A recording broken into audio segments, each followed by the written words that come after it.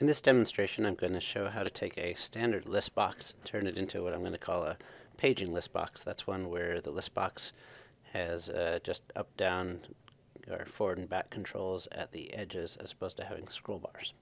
So the first thing we're going to do is we're going to quickly create a sample data set just to illustrate and fill in our list box. And let's uh, put a whole bunch of items in here.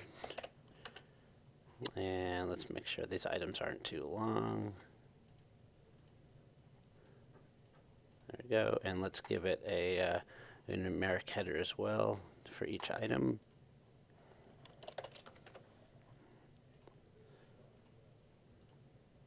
There we go. And if we look at our sample data set, we can see how the numbers go with each item. And that was that what we'll do is we will drag these into the scene, and when we do that, it creates a standard list box. And what we want to do again is get rid of that scroll bar. So to do this, what we're going to have to do is edit the list box and the scroll viewer within the list box. So we will edit the items panel for the list box. Let's call that our wrap items panel. So notice there's a stack panel in it. We are going to get rid of that stack panel. And instead we are going to get a wrap panel now there's a wrap panel, so you see the items are going horizontally. We come back good enough for now. So now we're going to actually edit the template for the list box. Let's call this a paging list box. So now that we are inside the template of this of the list box, we will edit the template of the scroll viewer. Let's call it a paging scroll viewer. Again, we'll edit it locally to make it easier to change various aspects of it. And now is where we're going to do most of the work.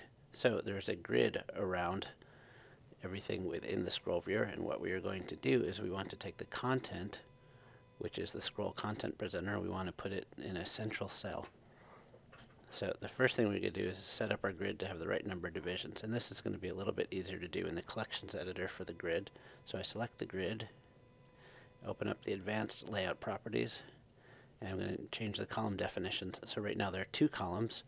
I'm just going to add another column, and the first column is going to have a, uh, it's going to be set to auto. Second is going to be set to star, and the third is also as well auto. And the visuals don't look right, but don't worry about it at this point. We're going to change the rows as well. We're going to add one more row. So the first row is going to be auto, second one star, and third one auto again and what it make sure is we put the scroll content presenter, that's the content. We're going to put it smack dab, we're going to put it in the center, so that would be the first row and the first column. And this rectangle, which is used in the uh, out of the box scroll viewer, we don't need that anymore. Now what we want to do is move the uh, horizontal and the vertical scroll bars into the correct places. So we are going to move, we're going to have that span all three columns. That's the horizontal scroll bar. And we want to make it stretch across the entire control. So we made its height auto. And we take the vertical as well. And we are going to put the vertical in column 1 and we're going to make it stretch across all three rows and you can't see it now because of again the scrolling properties of the list box we can get rid of these margins they're not necessary anymore Okay. And to make this a little easier, let's put the content presenter in front of the scroll bar so we can see where our content is. What we need to do at this point is uh, put spaces around that content to account for the repeat buttons. That's the increase and decrease buttons that are on each of the scroll bars.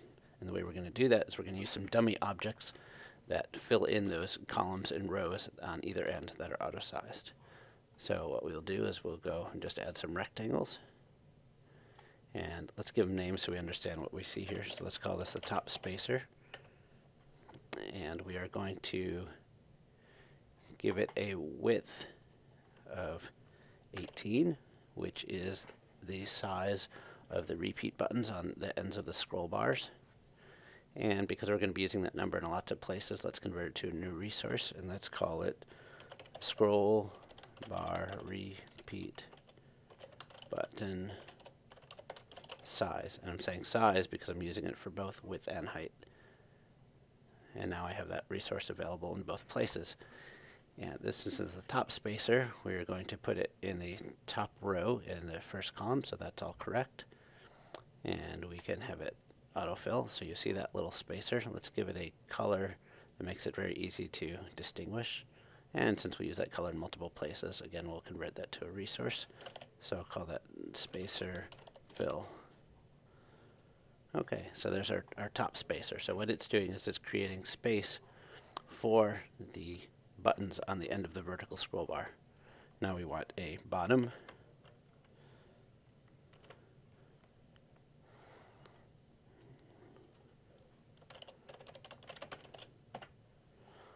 and we need to change the properties of the bottom one. So you can see its margin is a little off let's reset that. And we want to put it in the the bottom row which is really row 3 because uh, it's really row 2 because row counting starts at 0 and now we're going to do the same thing for the left and the right.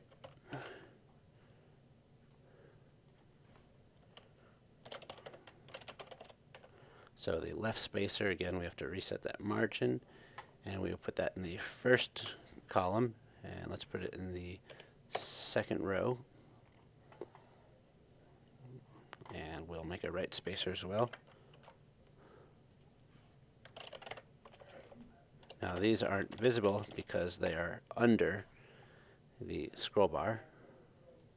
And I'm just doing that because I don't want them to interfere with the hit detection on the scroll bars and I'm going to put this in column the third column which is indexed as column 2. So now what we want to do is you notice those are creating empty spaces. We don't need the spaces at the top and the bottom because the scroll bar isn't visible. So what I'm going to do for the top spacer is I'm going to hook its visibility. I'm going to template bind that to the computed vertical scroll bar visibility which is uh, automatically set by the control. And I'll do the same thing for the bottom one. And I'll do that for the left. And the right. And so now if we, oh, and you'll notice that the content, you can see through the content to the underlying uh, scroll bar.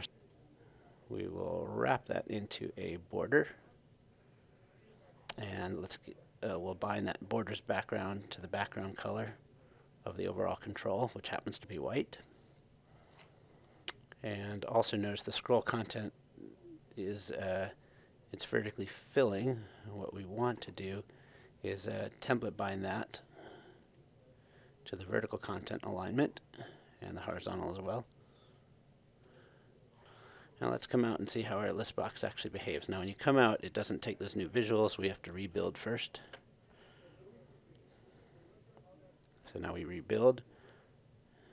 And as I resize this control, you can see I just see the buttons at the end. If I change the, uh, if I turn off the horizontal scroll bar, now I get a vertical scroll bar that controls those items, and then we are done.